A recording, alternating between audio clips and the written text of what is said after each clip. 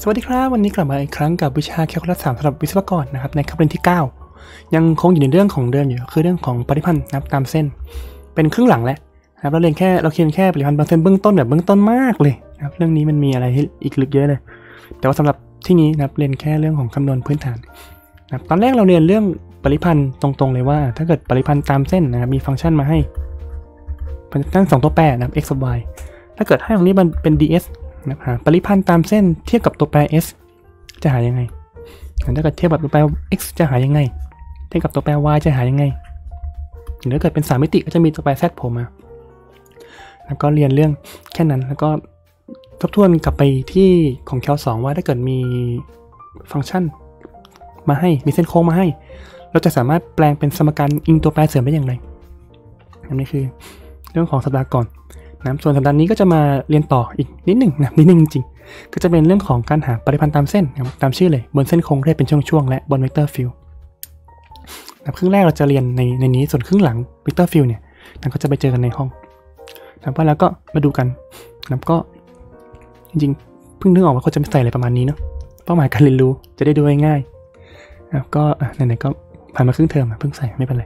นะก็เราก็นะครับเราจะเราจะหานะครับเปลี่ยนสมการเส้นโค้งเรียกเป็นช่วงๆให้เป็นสมการย่อยๆแทนได้ ก็คือตามตามชื่อเลยแล้วเส้นโค้งเรียบเป็นช่วงๆเส้นโค้งเรียบคือเส้นโค้งที่มันเรียบทั้งอันเรียบเป็นช่วงๆคืออะไรก็คือเรียบแค่เป็นช่วงๆนะตรงนี้เรียบตรงนี้ก็เรียบนะตรงนี้ก็เรียบ แต่รอยต่อมันไม่เรียบ เหมือนเอาเหมือนเอาผ้ามาเย็บต่อกันมันก็จะเป็นผ้าคนละสีกันนะอันนี้ก็ทำนองเดียวกัน ถ้าเกิดเรียบเป็นช่วงๆเราจะหายังไงนะแล้วก็ ถ้าแยกเป็นก็ต้องหาได้นะแล้วก็จะเป็นครึ่งหลังของเราที่บอกว่าเจอในในห้องก็คือนะเข้าใจความสัมพันธ์ของงานนะแล้วก็การเคลื่อนที่ของวัตถุ หรือของอนุภาคนะบน vector field บนสนามเวกเตอร์คำนวณได้แล้วก็นะครับสามารถโยง dr ตัวใหม่อาจจะเห็นว่า dr มันยังไม่โผล่ในของเก่าเรามี s มี x มี y มี z เราจะไปเรียน dr แล้วสามารถเข้าใจความสัมพันธ์ระหว่าง dr แล้วก็ x y ได้นะมาแล้วก็ไปเรียนครึ่งแรกกันคือสีฟ้านะสีเขียวไปเจอกันในห้อง ทบทวนปริพันธ์ตามเส้นนะครับก็อันนี้คือปริพันธ์เทียบกับตัวแปร s ซูมไปนิดนึงนะปึ๊บปึ๊บปึ๊บปึ๊บปึ๊บมันก็จะเห็นว่า อาจจะดูยาวแต่ว่าหลักหลักการก็คือเปลี่ยนทุกอย่างให้เป็น t ให้หมดนะมันจะตัวแปรเต็มไปหมดมี x มี y มี z มี s นะมันทำไม่ได้ก็ต้องเปลี่ยนให้เป็นตัวตัวแปร t ตัวเดียวก่อน แล้วพอเปลี่ยนเป็นตัวแปร t ได้ปุ๊บก็จะเหลือปริพันธ์ตัวแปรเดียว ปริพันธ์ชั้นเดียวที่หาได้ตามที่เราเรียนมาไงเขานี่ ตัวที่ขั้นตอนหลักก็คือตรงนี้ก็คือเราเปลี่ยน ds ให้เป็น เราใช้เราใช้สมบัติว่า ds เนี่ยเท่ากับ ds dt เนี่ยเท่ากับนะ dr dt ขนาดของ dr dt แล้วก็เปลี่ยนตรงนี้ได้ อันนี้คือเรื่องเก่าครับเรื่องใหม่อันนี้จริงครึ่งแรกเนี่ยก็จะก็คือเรื่องเก่าแหละนะครับ คือเหมือนกับว่าเราเรามีโจทย์ทีนี้จะให้โจทย์ย่อยเป็นข้อๆเหมือนกับให้โจทย์ให้โจทย์ใหญ่มาแล้วก็ต้องมานั่งหาโจทย์ย่อยเองนะคือทำทำโจทย์ก่อนแค่ทำหลายรอบ แบบนี้ตามตามชื่อคือปริพันธ์บนเส้นโค้งเรียบเป็นช่วงๆครับชื่ออาจจะแปลกๆอยู่แต่ว่า ถ้านึกถ้าวาดภาพไม่ดูมันเมื่อกี้ก็คือจะเป็นภาพประมาณนี้ก็คือเป็นเส้นโค้งที่มันเรียบเป็นช่วงๆเส้นโค้งเรียบคืออะไรก่อนนะเส้นโค้งเรียบก็คือเส้นโค้งที่มันหานะหาอนุพันธ์ได้ หาอนุพันธ์ได้นะหาความชันได้ทำไมต้องหาความชันได้นะเพราะว่าเพราะว่าสูตรมันก็ก็เขียนอยู่ตรงนี้เลยนะว่าเราเราต้องการจะเปลี่ยน ds ให้เป็น r prime แปลว่า r ของเราเนี่ย ครับไอ้สมสมการเวกเตอร์ของเราเนี่ยสมการรูปเวกเตอร์ของเส้นโค้ง c ของเราเนี่ยนะครับต้องต้องดิบได้ดิบไม่ได้ก็จบนะเช่นถ้าเกิดสมมติว่าจะจะให้ r r t อาจจะเป็นสมมติ absolute t แล้วกันนะครับ i บวก absolute t นะ j เอ้ยไม่ได้สิต้องแค่อันเดียว อย่างเงี้ยนะก็มันมันหาอนุพันธ์ไม่ได้ที่ที่จุดเดียวนะจุดศูนย์ที่ปัญหาที่จุดเดียว แต่ว่าถ้าเกิดมันมีปัญหาแค่จุดเดียว จุดอื่นมันไม่มีปัญหาเนี่ยครับแล้วก็แล้วก็แบ่งเป็น 2 อันได้ไหมแล้วก็หาแยกกันจุดนั้นก็ช่างช่างมันโยนทิ้งไปเลยนะซึ่งคำคำตอบในวิชาแคลหนึ่งก็คือได้ถ้าเกิดเป็นถ้าเกิดเส้นโค้งมีปัญหาแค่บางจุดก็ก็โยนทิ้งไปแล้วก็หาอย่างอื่นในวันนี้ก็หลักการเดียวกันก็คืออย่างเงี้ยสมมติว่าเรามีเส้นโค้งเส้นเนี่ยนะครับสามเส้น เส้นสีฟ้าสมมติเป็นเส้นตรงเรียบๆนะความชันความชันหาได้เป็นค่าคงที่แล้วอยู่อยู่ตรงจุดนี้ปุ๊บมันก็เปลี่ยนเส้นทางโค้งออกมา ผมอยู่อยู่อยู่จุดนี้อยู่ๆผมก็เปลี่ยนเส้นทางนะโค้งไปอีกด้านหนึ่งแทนถามว่าเราจะหาปริพันธ์ตามเส้นของเส้นยาวๆนี้ได้ไหมก็คือถ้าเกิดเรามองเส้นยาวๆนี้เป็นเส้นเดียวให้เป็นตัว C เนี่ยนะหลักการหาก็คือก็คือตามรูปเลยก็คือเหมือนเราเราซอยเส้นโค้งให้เป็นเส้นโค้งย่อยๆนะครับที่หนึ่งที่สองที่สามโดยที่เส้นโค้งย่อยๆแต่ละอันเนี่ยนะเป็นเส้นโค้งเรียบ เป็นเส้นโค้งที่เราสามารถหาปริพันธ์ไอหาอนุพันธ์ได้ดิฟได้ ซึ่งพอดิฟได้ก็จะสามารถกลับไปใช้สูตรของเก่าของข้างบนได้นะอันนี้คืออันนี้คือเรื่องใหม่ที่เราที่เราเรียนกันในตอนนี้นะซึ่งไอ้รูปรูปที่เห็นเนี่ยอาจจะดูแปลกๆเนี่ยเวลาเรานึกภาพธรรมดาเราเราไม่ทำอะไรประมาณนี้กันแต่ทำไมต้องมานั่งแบบหักไปหักมา แต่ว่ารูปที่จะเจอบ่อยกว่า ก็คือจะเป็นรูปประมาณนี้นะคือเราบางทีอาจจะอาจจะอยากหาอย่างนี้นะหาปริพันธ์บนเส้นบนเส้นโค้งนี้คือภาพว่าเราบนเส้นโค้งนี้เส้นโค้งสี่ พี่เป็นรูปสามเหลี่ยมก็คือนึกภาพว่าเริ่มจากพี่หนึ่งพี่ศูนย์ไปพี่หนึ่งนะแล้วก็กลับมาพี่สองแล้วก็วนกลับมาเป็นพี่ศูนย์ใหม่เส้นโค้งเนี่ยมันจะมันจะมันจะใช้จริงได้มากกว่า เพราะว่าบางทีเราอาจจะแบบนึกนึกภาพว่าเราต้องการแบบเลื่อนของเลื่อนแม่เหล็กนะในสนามแม่เหล็ก เราจะดูพลังงานดูแรงรวม แล้วก็ดูว่ามันเกิดอะไรขึ้นถ้าเกิดเราย้อนกลับมาแบบที่เดิม นะอาจจะอาจจะมีพื้นผิวสมมติว่านึกนึกภาพอาจจะอาจจะเป็นเสาก็ได้สมมตินึกภาพว่าเราเรามีเสาพลังงานอยู่ที่ที่เราทะลุไม่ได้เราก็เลยต้องนะเดินอ้อมแทน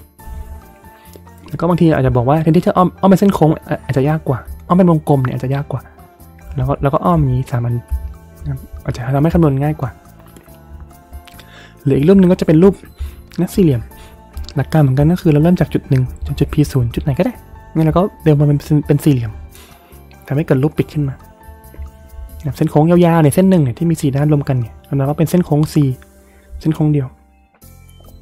แต่ว่าเวลาคำนวณจริงต้องคำนวณแยกกันเอ้ยเวลาคำนวณจริงคำนวณแยกกันได้แต่ว่าแต่ข้อหมายข้อหมายของการคำนวณปริพันธ์เนี่ยก็คือนึกภาพว่าเราเหมือนเดิมนะคือเรามีของก็ลืบลากยาวไป จดกลับมาถามว่าจะจะมีพื้นที่หน้าตัดนะรวมหรือว่ามีมีค่ามีอะไรได้เท่าไหร่อันนี้คือหลักการไอ้ฝั่งขวาเนี่ยจะเป็นฝั่งประยุกต์ ฝั่งที่อยู่บนหัวตอนนี้ครับซึ่งอย่างที่บอกมันอยู่ในหลังหลังจากนี้เป็นแคลอื่นๆนะถ้าได้เรียนกัน ได้เรียนปริพันธ์ตามเส้นที่ซับซ้อนขึ้นกว่านี้ แต่ขั้นนี้เอาแค่คำนวณเป็นก่อนนะครับก็นิยามอาจจะดูปักอาจจะจะดูยาวๆจะดูซับซ้อนเนี่ยเพราะว่ามันใช้นิยามสับคณิตศาสตร์แต่ว่าหลักการก็คือแค่ก็คือตามรูปเมื่อกี้เลยก็คือ ถ้าเกิดเราแบ่งเส้นโค้ง C ยาวอันเดียวยาวๆเนี่ยนะเป็นเส้นโค้งเรียบช่วงๆ ถามว่าทำไมต้องแบ่งเพราะว่าถ้าเกิดไม่แบ่งเนี่ยมันจะมันจะมีจุดที่หาปริพันธ์ไม่ได้เอ้ยหาอนุพันธ์ไม่ได้ดิฟไม่ได้ พอดิฟไม่ได้ก็ใช้สูตรไม่ได้แล้วแล้วก็เลยต้องแบ่งให้เป็นเส้นที่นะเรียบๆใช้การหาใช้การหาอนุพันธ์แต่ละแยกกันได้นะแล้วก็อันนี้เห็นเพิ่มมาที่อธิบายเมื่อกี้เลยก็คือว่าจะหาบ่อยๆกับเวลาหาบนพื้นผิว เช่นเสี่ยหมื่นผ้าก็คือเราปกติเราไม่หาอะไรประมาณนี้หรอกนะก็อาจจะหาลากมันลากไปลากมา นะมันมันอาจจะมีความหมายหนึ่งก็ว่าไป แต่ว่าการหาปริพันธ์บนเส้นโค้งที่วิ่งกลับมาบนวิ่งกลับมาหาตัวเองนะโดยโดยสร้างเป็นพื้นผิวตรงกลางเนี่ยมันจะมีความหมายของมัน ส่วนวิธีการหาก็คือนะก็ตามถ้าเกิดตามทฤษฎีบทนี้ก็คือหาแยกเป็นช่วงๆเลยอาจจะมีตัวแฟนซีนิดหน่อยเช่นตัวยูเนียนเนี่ยอันนี้ช่างมันนะแค่แค่ความหมายก็คือต่อกันแหละนะจะหายังไงก็มาดูกันนะเช่นนะตัวอย่างหนึ่งนะให้หาปริพันธ์ตามเส้น นะอินดิเกต c ของ x กำลังสองลบ y กำลังสอง ds ทุกทุกอย่างเหมือนกันหมดทุกอย่างยังเหมือนของเก่านะยังไม่มีอะไรใหม่เรื่องใหม่ก็คือนี้นะ c เนี่ยเรานิยามใหม่นะให้เป็นเส้นตรงจากจุด 0 0 ไปยังจุด 1 0 ก็คือเส้นสีแดงด้านล่างนี้นะแล้วก็แล้วก็เคลื่อนที่ต่อไปวงกลมไปยังจุดศูนย์หนึ่งนะไปวงกลมก็คือเลื่อนหมุนหมุนขึ้นไปข้างบน นะฉะนั้นถ้าเกิดเราเรามอง c ถ้าเกิดตามนิยามเนี่ยนะตามความหมายของมันเนี่ย c มันคือ นึกภาพว่าเรามีมีของชิ้นหนึ่งแล้วเราก็ลากมันไปใช้สีเขียวแล้วกันนะลากไปตรงนี้ก่อนแล้วก็ลากขึ้นต่อนะถ้าเกิดมองจากภายนอก หรือถ้าเกิดมองแอนิเมชันก็จะเป็นฟึบฟึบนะเป็นเส้นเดียว แต่ว่านะปัญหาคือตรงนี้มันหาอนุพันธ์ไม่ได้ ดิฟไม่ได้ พอหาอนุพันธ์ไม่ได้ก็ใช้สูตรไม่ได้ ฉะนั้นเราก็เลยต้องนับแยกเป็นสองอันตามที่เขียนให้เลย นะก็คือเป็นเส้นเส้นสีแดงเส้นเส้นแรกก่อน ที่เขานิยามไว้ให้ว่าเป็นเส้นตรง แล้วก็ค่อยหาปริพันธ์ต่อนะบนเส้นโค้ง ในมุมหนึ่งก็คือเหมือนกับว่าเขาให้เราทำโจทย์สองข้อแหละมันแต่ว่ารวมมาอยู่ในข้อเดียวทำโจทย์สีแดงก่อนหาปริพันธ์ของฟังก์ชันนี้ บนเส้นโค้งสีแดง แล้วก็หาปริพันธ์ของฟังก์ชันนี้นะบนเส้นโค้งสีน้ำเงิน เทียบกับ s ตัวเดิมดังนั้นเป็นยังไงก็มาไปดูกัน แล้วก็เนื่องจากมันเป็นเส้นโค้งสองอันเนี่ยเราก็ต้องนะขั้นแรกก็คืออ่าแปลงเส้นโค้งให้เป็นสมการอิงตัวแปรเสริมก่อน เส้นโค้งแรกคือ c 1นะคือจาก0 0 0 0เนี่ยไปยังจุด 10แบบทีนี้อันนี้คือเขาไม่ได้บอกสมการอิงตัวแปรเสริมมาให้ แล้วก็ต้องแปลงเองแล้วจะแปลงไงถ้าเกิดจำได้รอบก่อนนะเราบอกว่าอ๋อใช้นี้ถ้าเกิดเป็นจากจุดไปจุดนะมีจุด 2 จุดมาให้เราต้องการหาสมการเส้นตรงจากจุดแรกไปจุดที่ 2 เราสามารถเราเราเราสามารถใช้นะสมการเวกเตอร์ได้ตรงๆเลยนะได้ rt แล้วคือเป็น1ลบ t คูณกับจุดแรก จุดแรกคือศูนย์ศูนย์ที่เราเขียนเป็นรูปของเวกเตอร์นะครับหนึ่งลบ t คูณจุดแรก บวกกับที่คูณจุดหลัง เป็นรูปเวกเตอร์เหมือนกันโดยที่บอกได้ว่าทีทีของเราคือจะอยู่เนะถ้าเกิดใช้สูตรนี้ทีจะอยู่ระหว่างศูนย์หนึ่ง อันนี้คือวิธีการแปลงเป็นเส้นตรง แล้วก็ที่เหลือก็จัดรูปนิดหน่อยนะอันนี้คือหนึ่งลบทีคูณศูนย์คูณศูนย์ก็จะหายไป ตัวแรกก็จะไม่มีผลจะเหลือแค่ข้างหลัง ถ้าเกิดเรา t คูณกระจายเข้าไปนะ t คูณหนึ่งได้หนึ่งเอ้ย t t คูณศูนย์ได้ศูนย์ก็เป็นอันนี้ศูนย์ศูนย์นะบวกเวกเตอร์ศูนย์ศูนย์บวกเวกเตอร์ t ศูนย์ก็เหลือแค่ตัวหน้าคือ t ศูนย์นะอันนี้คือครึ่งแรกจะค่อนข้างง่ายนะเหมือนเหมือนหลอกให้เราทำโจทย์ก็ พอได้เป็นสมการเวกเตอร์แล้วหรือว่าถ้าเกิดจะเขียนเป็นรูปเวกเตอร์ก็คือมาเป็น t คูณ i บวกกับ 0 คูณ j เป็นส่วนประกอบหน้ากับส่วนประกอบหลัง ก็พอเป็นนี้ปุ๊บก็จะเห็นว่า อ๋อ นี่ไง x ของเรานี่ได้แล้ว x ก็คือ t ของเราเลย x ของเราก็คือ t นะคือตัวที่อยู่ข้างหน้า i หรือตัวที่อยู่ข้างหน้าในรูปแบบของเวกเตอร์ ส่วน j ก็คือข้างหลัง เอ้ยพอดี y ก็คือตัวหลัง ทีนี้ก็คือศูนย์ตรงตรงตรงตรง นะก็ดิฟ x ได้อะไรได้เป็นอะไรดิฟ x ได้เป็นหนึ่งดิฟ y ได้อะไรนะดิฟ y ก็ได้มีศูนย์อยู่แล้วก็ได้ศูนย์เหมือนเดิมไม่ต้องเปลี่ยนอะไรดังนั้นจากที่ได้ได้มาเนี่ยข้อมูลเราครบถ้วนแล้วอ๋อขายอีกนิดหนึ่งเนื่องจากอันนี้จะเป็น ds นะจำได้ไหมว่า ds หายยังไงถ้าถ้าเกิดทำรอบก่อนอาจจะชินกับ dx dy dz แล้วแต่ว่า ds ก็ยังก็ยังเหมือนเดิมก็คือเราเราเราเราเปลี่ยน ds เป็น dt แล้วเราก็ถามว่าเรามีสมบัติอะไรไหมในการเปลี่ยน เราบอกว่าเรามีนี้ ds ก็คือนะครับ dr ส่วน dt ก็คือเอา r เนี่ยมา diff ทีนี้ถ้าเกิด r เป็น t กับศูนย์แล้ว r พรามจะเป็นอะไร ก็ diff diff t นะ diff t เทียบ t ได้เป็นหนึ่งเขียนเขียนเป็นนี้ก็แล้วกันนะคือ diff diff องค์ประกอบแยกกันดิฟ x ดิฟ y ดิฟหน้าดิฟหลังดิฟ t เป็นหนึ่งก็เป็นหนึ่งคูณ i diff ศูนย์ก็เป็นศูนย์diff เป็นศูนย์คูณ j เรียบร้อยแล้ว จำได้ r แล้วก็หาขนาดของ r ต่ออีกหน่อยหนึ่งดับขนาดของขนาดของเวกเตอร์หายังไง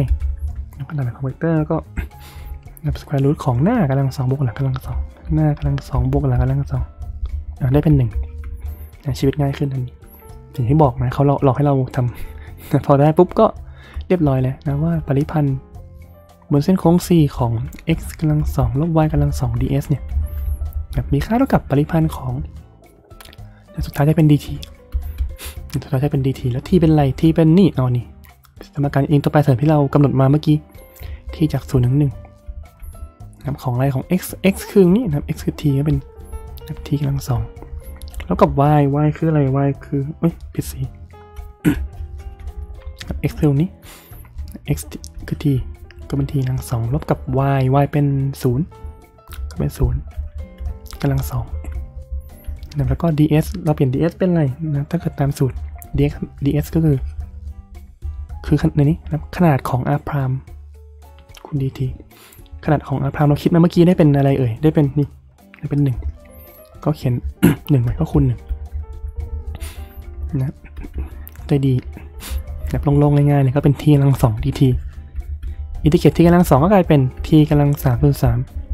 แทนค่า t เป็นศูนย์หนึ่งหนึ่งแล้วกลายเป็นหนึ่งส่วนสาม ก็ตอบแค่นี้เลยนะอันนี้ครึ่งแรกนะว่าถ้าเกิดจะหาปริพันธ์จากจุดเส้นสีชมพูเนี่ยจากจุดแรก ไปจุดสุดท้ายข้างหลังคำตอบเป็นหนึ่งคนสามนะทีนี้ก็หาต่อนะครับเราหาอันนี้แหละแล้วเราบอกว่านี้เป็นหนึ่งคนปริพันธ์นี่มีค่าเท่ากับหนึ่งคนสามทีนี้ก็เหลือเส้นข้างบนนี่นะเส้นโค้งนี่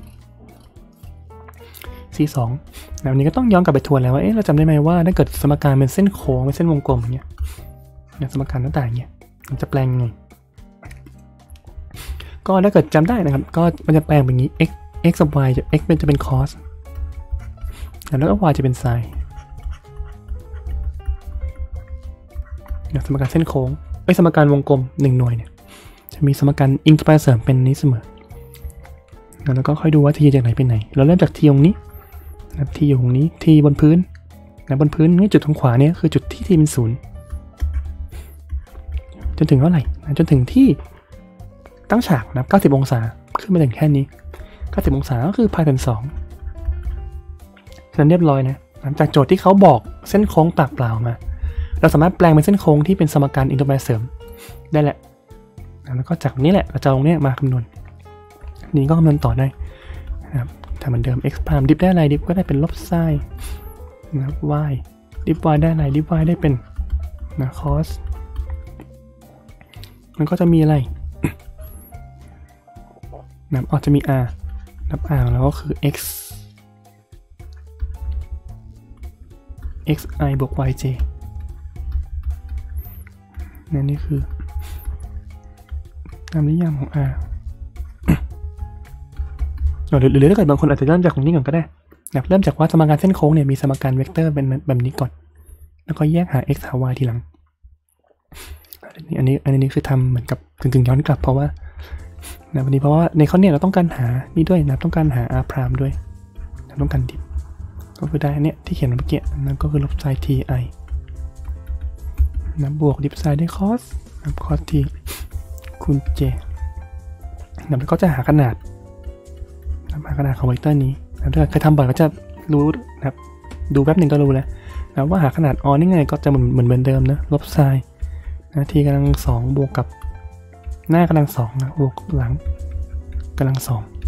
ก็กลายเป็น square root ของ x กำลังสองบวกเขากำลังสองนี่ก็เป็นหนึ่งก็ตอบหนึ่งนะฉะนั้นสุดท้ายแล้วนะปริพันธ์ของนี้ x กำลังสองลบ y กำลังสอง ds ก็จะมีค่าเท่ากับนะปริพันธ์จากไหนไปไหนนะสุดสุดท้ายข้างหลังจะเป็น dt ฉะนั้นเราก็ต้องดูว่า t จากไหนไปไหนในที่นี้คือ t จากศูนย์ไปพายส่วนส องศูนย์พายส่วนสองตามนี้ แล้วก็ x ของเราคือ cos ก็จะกลายเป็น cos นกำลังสองที y เป็นอะไร y เป็น sin t ก็จะกลายเป็นลบ sin กำลังสองทีอันนี้ข้างข้างหน้า แล้วก็ ds เราเปลี่ยนเป็นอะไร เราเปลี่ยนเป็นนี่นับขนาด r พรามคูณ dt ก็เป็น 1 คูณ dt ก็จะเหลือแค่นี้แหละครับเหลือแค่การหาปริพันธ์ธรรมดาแล้วนะครับก็ก็จะการหาเลยนะครับส่วนพายส่วนสอง ทีนี้เนี่ย cos กำลังสองลบ sin กำลังสอง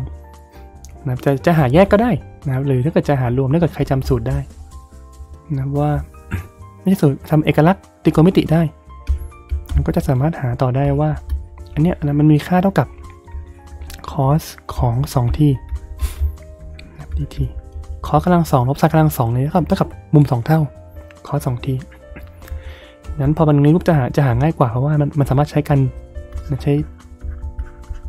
ใช้แทนค่า u ได้แล้วก็จะเป็นอินดิเกตของ cos u นะถ้าเกิด u เป็น 2t du ก็เป็น 2 dt นะ pt ก็เลยกลายเป็น dt du ส่วน2อะเป็น1ส่วน2โผล่มาข้างนอก ข้างในเหลืออินดิเกต cos u du อินดิเกต cos ก็คือเป็น sin ก็ได้เป็นอันนี้ออกมาเหลือก็คือ1 2 sin 2 u บวก4นะฉะนั้นแต่ว่าสุดท้ายแล้วนะครับเดี๋ยวจะเห็นกันว่ามันคือ1ส่วน2นะครับ sin 2 u นะครับแทนค่า t เป็น0 1พันถึง2แล้วก็แทนค่าตรงๆเลยก็1ส่วน2นะอันแรกคือ sin 2คูณพายส่วน2ก็คือ sin พายลบกับ1ส่วน2แล้วก็หลังคือ1ส่วน2 sin แทนค่า t เป็น0ไอยอันนี้เป็น t แล้วเล่นไปแทนค่า t เป็นพายส่วน2ก็ได้เป็น 2 คูณพายส่วน2เป็นพายแทนค่า t เป็น0ก็ได้เป็น2คูณ0ก็เป็น0 นะ sin พายเป็น0 sin 0เป็น0อะเหมือนเหมือนเราหลอกให้หาไงไม่รู้นะคำตอบมันคือศูนย์นะฉะนั้นนะสุดท้ายแล้วข้างครึ่งหลังมันคือคำตอบคือศูนย์นะ c สองเนี่ยนับอ๋ออ๋อลืมลืมลืมลืมตรงนี้ต้องบอกว่าได้ว่า เป็นป่าปริพันธ์บนเส้นโค้ง c สองอันนี้ก็ต้องเป็น c หนึ่ง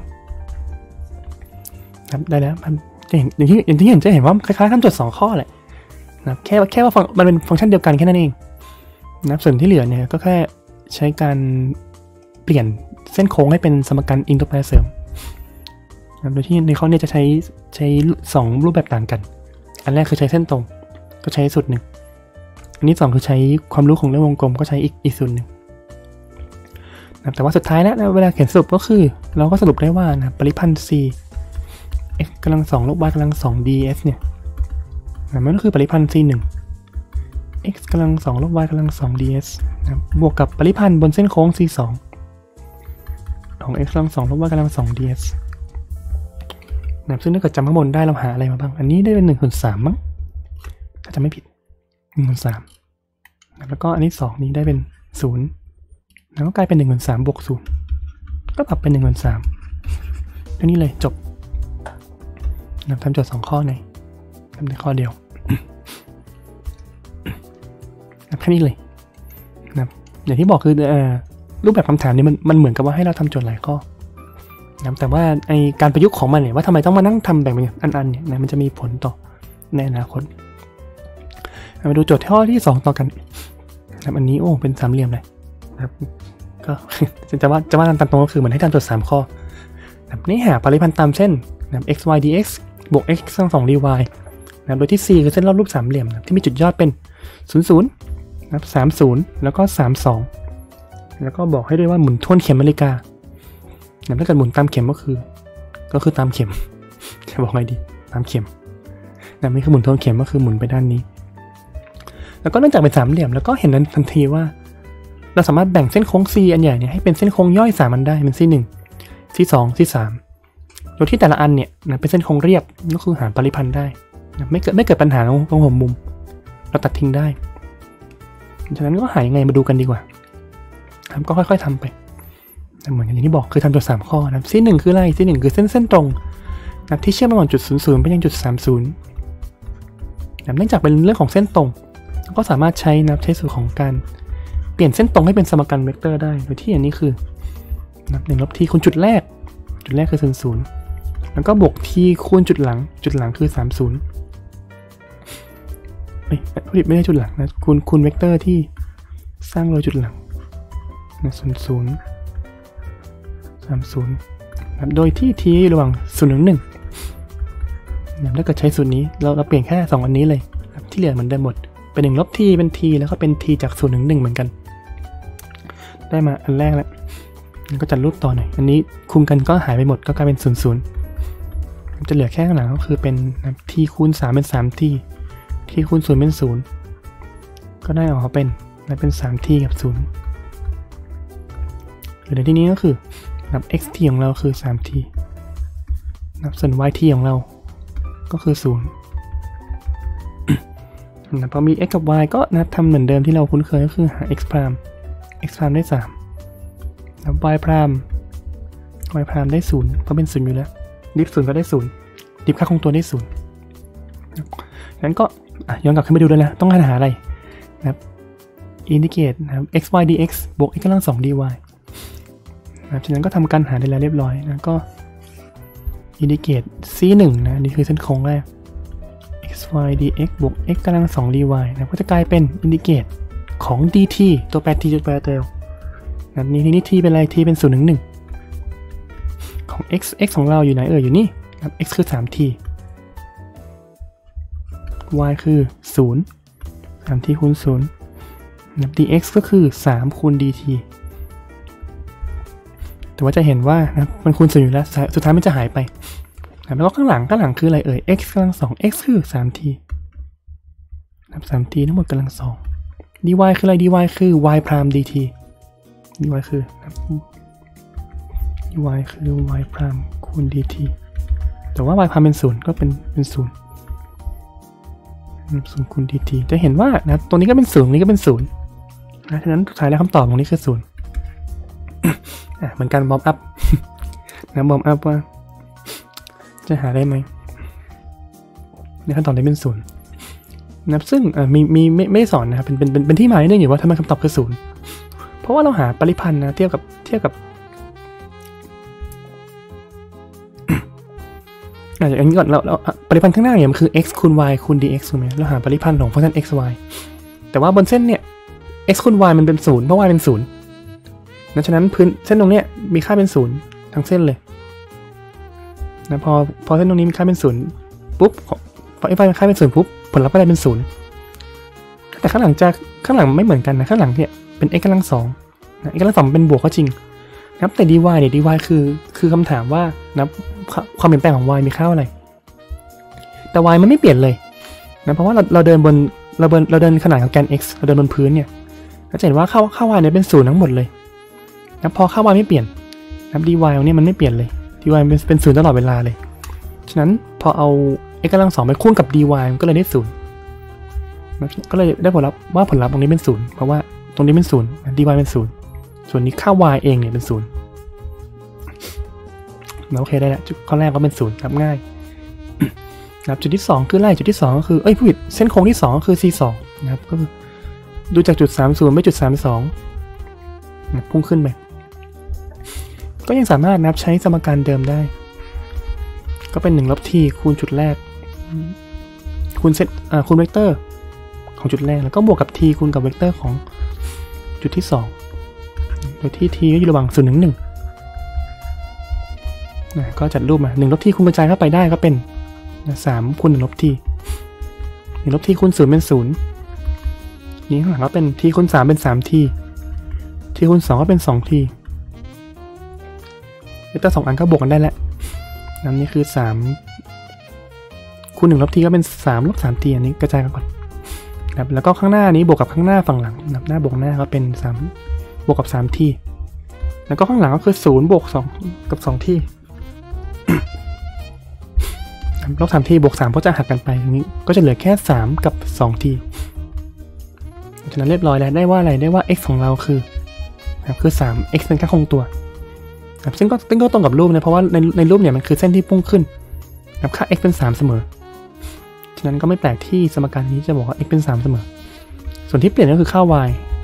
นะ y เป็น 2 ทีพุ่งขึ้นไป ที่เหลือก็นับจากแจงจัดการหาเหมือนเดิมดิฟค่าคงตัวได้ศูนย์นะดิฟสองทีเทียบกับทีได้เป็น 2 ฉะนั้นก็หาปริพันธ์ได้แล้วนะปริพันธ์ของเราคืออะไร มีใครจำได้ไหมปริพันธ์บน c 2นะบนเส้นโค้งอันที่2ของ xy dx วง x กำลัง2 dy ก่อนที่จะหาลองลองทายก่อนอันไหนอันไหนอันไหนเป็นศูนย์จะมีอันนึงเป็นศูนย์ อันไหนเป็นศูนย์เอ่ยคำตอบคืออันนี้เป็นศูนย์นะเพราะว่า x x พาเป็นศูนย์ฉะนั้น dx เนี่ยก็จะกลายเป็นศูนย์เพราะว่า dx มันคือนะเพราะว่า dx ของเราจะกลายเป็น x พามคูณ dt ตรงนี้ตรงนี้จะกลายเป็นศูนย์นะแต่ว่าเราเราแทนค่าให้ครบก่อนดีกว่าเดี๋ยวเดี๋ยวค่อยเดี๋ยวค่อยไปดูกัน x ของเราคือศูนย์จริงๆก็แทนปุ๊บก็จะก็จะศูนย์เลยนะไม่ต้องไม่ต้องปกปิดอะไร y ก็คือสองเอ้ยเฮ้ย x คือสาม ครับ x เปล่าๆเนี่ยคือสามนะแล้ว y ของเราคือ y ของเราคือสองที่นะตามคูณสองที่ แต่ว่า dx นี่แหละอะ dx ที่บอกว่ากลายเป็นศูนย์เป็นศูนย์คูณ dt นะดีเป็นศูนย์บวกกับก้อนหลังก้อนหลังคือ x กำลังสองก็คือสามกำลังสองนะใจดีนะเป็นค่าของตัว แล้วก็ y dy dy คือ y prime นะคูณ dt y prime คือ 2 ฉะนั้นอันนี้ก็กลายเป็น 2 คูณ dt ซึ่งหัวบังมิดเลยนะครับก็อันนี้เป็นศูนย์หายไปเนะอันนี้เป็นค่าคงตัวหมดเลยเป็น3กำลัง2คูณ2ก็คือ 12ฉะนั้นอันนี้ก็จะกลายเป็น integrate ศูนย์ถึงหนึ่งของ 12 dt integrate ค่าคงตัวก็จะได้เป็น 12 คูณ t ทั้ง t ตั้งแต่0ถึง 1 ก็กลายเป็น 12 คูณ 1 ลบ 12 คูณ 0 ก็คือ 12นั่นเองได้แล้วว่าตัวกลางนี่มีค่าเท่ากับ 12นะปริพันธ์บนเส้นโค้ง C2 นี่มีค่าเท่ากับ 12 แล้วก็มาดู C3 กันสุดท้ายของเรา C3 จะหายังไง C3 จะเป็นเส้นทะแยงลงมานะถ้าเกิดจำได้ทะแยงตรงนี้ปุ๊บก็คือจากจุด 32 ไปยังจุด 00นะก็เหมือนเดิมนะครับเนื่องจากมันเป็นเส้นตรงที่เชื่อมระหว่างจุด 2 จุด เราก็เลยสามารถใช้สมการเวกเตอร์ได้นะเป็น1ลบ t คูณกับจุดแรก เป็นเวกเตอร์ของจุดแรก 32 แล้วก็ t เอ้ยแล้วก็บวกกับ t คูณกับเวกเตอร์ของจุด ข้างหลัง00แล้วก็ให้ t เป็น0ถึงเรียบร้อยนะทีนี้ก็จะเห็นว่าข้างหลังจะหายไปนะมันก็คำนวณออกมาก่อนนะนี้1ลบ1ลบที่คูณกระจายเข้าไปได้นะครับ ก็จะกลายเป็น3คูณ1ลบที่แล้วก็สองคูณหนึ่งลบทีส่วนนี้ทีคูณกระจายเข้าไปทีคูณศูนย์ได้ศูนย์ทีคูณศูนย์ได้ศูนย์ก็เป็นศูนย์ศูนย์หายไป แล้วสุดท้ายนี้จัดรูปเอาใหม่สามคูณกระจายเข้าไปอีกทีหนึ่งสามก็จะไปก็จะกลายเป็นสามลบสามทีนะครับสามคูณหนึ่งคูณกับสามหนึ่งสามคูณหนึ่งลบด้วยสามคูณทีอันนี้จะเป็นสองลบสองทีเรียบร้อยแล้วได้สมการเส้นตรงที่เราเขียนเมื่อกี้กลายเป็นสมการเวกเตอร์ สมการอิงตัวแปรเสริมแล้ว โดยที่ในที่นี้คือ เราให้ค่า x ของเราคือตัวหน้า x ที่ของเราก็จะกลายเป็นสามลบสามทีส่วน y ก็คือข้างหลังนะ y ของเราก็คือ สองลบสองทีนะเสร็จแล้วก็เหลืออะไรอีกเหมือนเดิมนะครับก็จะต้องหาอะไรหา x prime นะก็ดิฟตรงนี้ดิฟสามหายไป ดิฟข้างตัวหายไป ดิฟลบสามทีได้ลบสามส่วน y ก็ทำดิฟ y ดิฟสองหายไป ดิฟลบสองทีได้เป็นลบสองเรียบร้อยแล้วที่เหลือก็คือนับจัดการหาปริพันธ์บนเส้นโค้ง c3 หรือบนเส้นเส้นเนี่ยครับของอะไรเอ่ย x y dx บวก x กำลังสอง dy นะก็ก็เปลี่ยนทุกอย่างให้เป็นทีหมดนะครับที่ของเราจากไหนจากศูนย์ถึงหนึ่งนะเหมือนเดิม เนื่องจากเป็นเส้นตรงเหมือนกันหมด เวลาเราแปลง ถ้าเกิดใช้สูตรนี้ในการแปลงจะได้เป็นศูนย์ถึงหนึ่งถ้าเกิดใช้สูตรอื่นอาจจะเป็นทีที่อาจจะเป็นศูนย์ถึงสองลบสองสองเป็นเลขอื่นก็ได้ แต่ส่วนนี้จะได้เป็นศูนย์ถึงหนึ่งเสมอ x ของเราคืออะไร x คือสามลบสามที y คืออะไร y คือสองลบสองที จะเห็นว่าจะเริ่มมีเริ่มมีพจน์ทีเยอะแยะมากมายเลยตรงนี้เวลาหาก็จะเหนื่อยกว่าปกตินิดหนึ่งนิดหนึ่งเดี๋ยวค่อยดูกัน ส่วน dx ของเราก็คืออะไร dx ก็คือนะครับ x พามคูณ dt x พามคูณ dt ในก้อนแรกแล้วนะครับก้อนหลังคืออะไร x กำลังสอง x ก็คือ3ลบ3 t กำลังสองแล้วก็คูณกับ dy dy ของเราเราเปลี่ยนเป็น y พรามคูณ dt ก็เป็นนะ y พรามคือลบ2 ก็คูณ dt ในพจน์ยาวๆแหละอันนี้ก็จะต้องเริ่มใช้แรงนิดหน่อยในการหาปริพันธ์นะที่จริงก็ดิงดิงดีทีไว้ข้างหลังก่อนนะทีนี้มีอะไรบ้างมี3ลบ3ทีคูณ2ลบ2ทีนะซึ่งถ้าเกิดอ่าก็คูณคูณคูณคูณตรงๆเลยแล้วกันใช้ใช้นี้แล้วกันนะก็คือ จะเห็นว่าที่จริงไอ้สามลบสามทีมันคือสามคูณหนึ่งลบทีในที่ที่เราตอนแรกเราคูณกระจายออกมาเพราะว่าจะได้หาปริพันธ์นี้ได้จะได้จะได้จะได้หาอนุพันธ์ได้จะได้จะได้ดิฟได้แต่ว่าถ้าเกิดเราต้องการจะจับมันคูณกันเนี่ยนะมันมันจะดูง่ายกว่าถ้าเกิดเราเปลี่ยนเป็นรูปนี้นะเป็นตรงนี้เป็น3คูณ1ลบทีสองลบสองทีก็คือก็เป็น2คูณ1ลบทีเพราะว่าอะไรเพราะว่าจะเห็นว่าตอนนี้ค่าคงตัว3กับ2เนี่ยต้นดึงออกมานะนะเป็น3คูณ2คูณลบ3 3คูณ2เป็น6 6คูณลบ3เป็นลบ18ก็เป็นลบ18นะส่วนข้างหลังก็จะเหลือ ตัวแปรก็จะเหลือ1ลบทีคูณ1ลบทีก็จะเป็นนะ1ลบทีกำลัง2ส่วนก้อนนี้นะก็จะคล้ายๆกันนะถ้าเกิดเราดึงสามออกมาข้างนอก มันก็จะมันก็จะกลายเป็น3คูณ1ลบทีนะทั้งหมดกำลัง2ก็3กำลัง2ก็จะกลายเป็น9นะก็จะออกเป็น9นะ9คูณลบ2เป็นลบ18 แล้วปรากฏว่าเหมือนกันแหล้วกลายเป็นลบ18 เหมือนกัน แล้วก็1ลบทีกำลัง2เหมือนกัน ชีวิตก็จะดูง่ายขึ้นเลย เพราะเนื่องจากมันเหมือนกันก็ก็จับบวกกันได้ดื้อเลย มันก็จะเป็นลบสิบแปดลบสิบแปดก็จะเป็นลบสามสิบหกหนึ่งลบทีกำลังสองนะดีทีทีนี้ก็จะหาปริพันธ์ตรงๆได้แหละมันจะมีสองวิธีให้เลือกนะครับหนึ่งก็คือกระจายหนึ่งลบทีกำลังสองมาหนึ่งลบทีกำลังสองได้อะไร ก็จะเป็นหน้ากำลังสองลบสองหน้าหลัง บวกหลังกำลังสองซึ่งก็คือหนึ่งลบสองทีบวกทีกำลังสองถ้าเราจะกระจายอย่างนี้ แต่ว่าจริงเราใช้อีกอย่างหนึ่งด้วย เอาเอาสามสิบหกดึงออกมาก่อนเราเราเปลี่ยนเราแทนค่า u ได้เหมือนกันนะก็คือให้ u เป็นหนึ่งลบ t ก็จะกลายเป็น u กำลังสองแทนนะทีนี้ dt คืออะไร ถ้า u เป็นหนึ่งลบ t du ก็จะกลายเป็นลบ dt นะหาค่าเชิงอนุพันธ์รวมของนี้ดิฟตรงนี้ออกนะจะได้ลบตรงนี้ออกมา ลบ dt ฉะนั้น dt ก็คือลบ du นั่นเองนะเอาลบหนึ่งคูณสองข้างได้ลบคูณลบมีลบอยู่ข้างในนี้แล้วก็ลบข้างนอกก็จะกลายเป็นบวกนั่นก็กลายเป็นสามสิบหกอินทิเกตยูกำลังสองก็เป็นยูกำลังสามจนสามจากศูนย์หนึ่งหนึ่งโอ้เขาดีไม่ใช่ไม่ไม่ใช่จากศูนย์หนึ่งอันนี้สำคัญเลย นะครับเออเอาไอเดียใช้ใช้ใช้วิธีนี้แล้วกันจะได้ไม่งงเราใช้การแทนค่าอยู่เหมือนเดิมเราใช้การใช้การแทนค่าอยู่ปุ๊บนะยูเป็นหนึ่งลบที dvt ฉะนั้นนะปริพันธ์ของ1ลบ t กำลังสอง dt เป็นอินดิเกรตหรือปริพันธ์ของ u กำลังสองนะคูณกับลบ du ก็คือได้มาเกี่แหละนะครับ u กำลังสามส่วนสามบวก c แล้วก็ค่อยเปลี่ยน u กลับไปเป็น t ตรงนี้เราจะได้ไม่งงตัวเลขอะเป็นอย่างนี้ก่อนนะถ้าเกิดเราทบไปข้างๆนี้แล้วเนี่ยนะเวลาเราคูณกลับไป มันก็จะได้พจน์นี้ออกมาเลยนะลบสามสิบหกคูณกับลบนะหนึ่งลบ t กำลังสามส่วนสามแทนค่า t เป็นศูนย์ถึงหนึ่ง t เป็นศูนย์ถึงหนึ่งเหตุผลที่ต้องทำอย่างนี้เพราะว่าถ้าเกิดถ้าเกิดเราเปลี่ยนตรงนี้ตรงตัวเลยเราเราต้องเปลี่ยนขอบเขตด้วย นะเป็นขอบเขตก็อาจจะงงเมื่อฝนตกนะใช่งี้ดีกว่าคือก็คือหาหาหาสูตรออกมาก่อน ให้เป็นให้กลับเป็นรูป t ก่อน แล้วก็ค่อยแทนค่า t ตรงนี้ออกมา จะได้เป็น t เดียวเดียวเดียวกันพอเป็น t เหมือนกันแล้วก็ศูนหนึ่งจะเป็นตรงนี้เหมือนกัน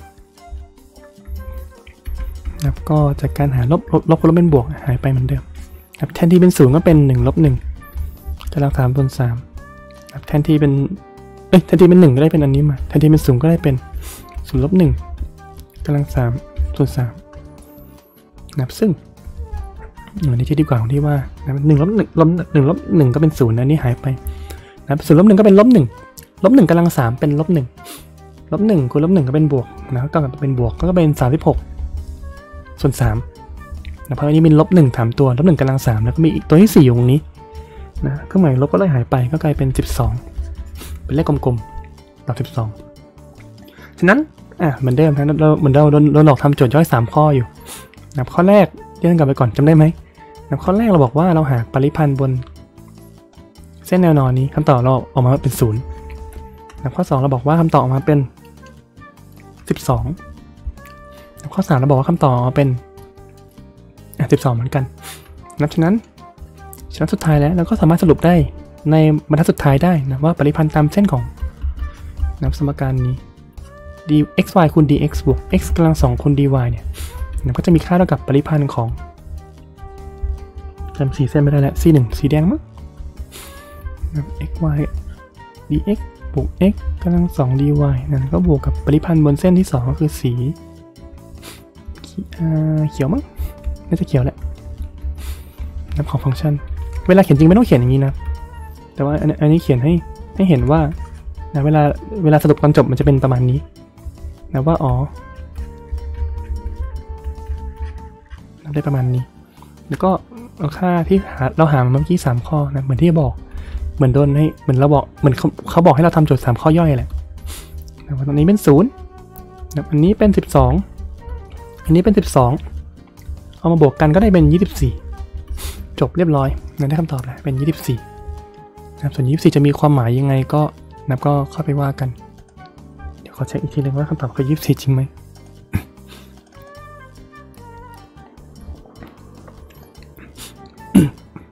เพราะว่าอันนี้คือทำสดนะไม่ไม่ได้เปิดโพลไปข้างๆ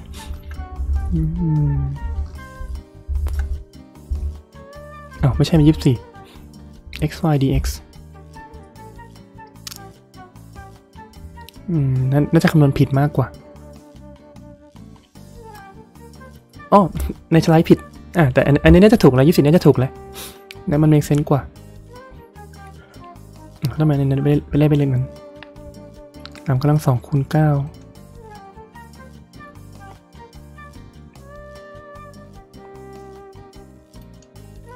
อะ เจอแล้วเจอแล้วสามกำลังสองเป็นเก้าเก้าสองสิบแปดขออภัยด้วยบางบางคนที่ดูอาจจะแบบกรีดร้องทำไมบอกเลขผิดสิบแปดสิบแปดสิบแปดนะสิบแปดหมดเลย นะส่วนอันนี้ อันนี้คิดตรงๆนั้นจะถูกนะสามสองขอใช้ทีหนึ่งลบสิบแปดลบสิบแปดอะไรนี้ถูกแหละนะส่วนนี้ก็เป็นเก้าคูณลบสองก็เป็นลบสิบแปดเหมือนกันนะลบสิบแปดลบสิบแปดแล้วก็นะได้เป็นลบสามสิบหกลบสามสิบหกก็คูณกับหนึ่งส่วนสามเพราะว่าปริพันธ์กำลังสองได้เป็นกำลังสามสิบสิบสองฉะนั้นนี้ก็ต้องเป็นสิบแปดตลกดีคือคือคือในในนี้ผิด ครึ่งครึ่งแรกในในสไลด์ผิดครึ่งหลังนะครับตอบคือสามสิบนะครับตอบคือสามสิบจบเรียบร้อยนะครับว่าถ้าเกิดเราต้องการหาหาปริพันธ์บนเส้นโค้ง C ที่ประกอบด้วย ไม่ใช่ประกอบด้วยที่ที่เราสามารถแบ่งเป็นเส้นโค้งย่อยสามอันได้นะปริพันธ์บนเส้นโค้ง C เนี่ยรวมกันได้เป็นสิบแปดไม่ได้เป็นสามสิบนะครับจบสำหรับในในวิชานี้เราจะเรียนแค่นี้นะครับ ก็คือเรียนแค่ว่าถ้าให้โจทย์มาอย่างนี้เราสามารถหาย่อยสามอันแยกกันได้ แล้วเอาค่อยเอาผลลัพธ์มาบวกกัน นะครับแต่ว่าในสมการในในปริพันธ์เชิงเส้นที่สูงกว่านี้นะเขาจะเขาจะให้ความหมายด้วยว่าไอ้สามสิบเนี่ยความหมายคืออะไร มันจะมันจะมีความหมายต่อ ก็อ๋อสามสิบที่จริงมันมันไอไอรูปเนี่ยมันมีผลนะ มันมีผลเรื่อง vector field ว่าเรื่องของเรื่องของอะไรนะ divergence เรื่องของอะไรพวกเนี้ยแต่ว่าโอเคเราไม่พูดถึงนั้นแล้วก็ตอบเรียบร้อยนะถ้าเกิดถ้าเกิดเขาให้เส้นโค้งมา หน้าที่เราก็คือแบ่งเป็นเส้นโค้งย่อยเป็นช่วงๆแล้วก็ผลลัพธ์ที่ได้จากการหาปริพันธ์แต่ละเส้นโค้งเนี่ยมาบวกกัน นะแล้วก็น่าจะแค่นี้นะครับครึ่งชั่วโมงไปสี่สิบนาทีน่าจะไม่ไม่ไม่นานเกินไปนะครับจบเรียบร้อยนะครับ แล้วก็ไปเจอกันในห้องกับครึ่งหลังนะครับใน Vector Field อิวอิวอิวอิว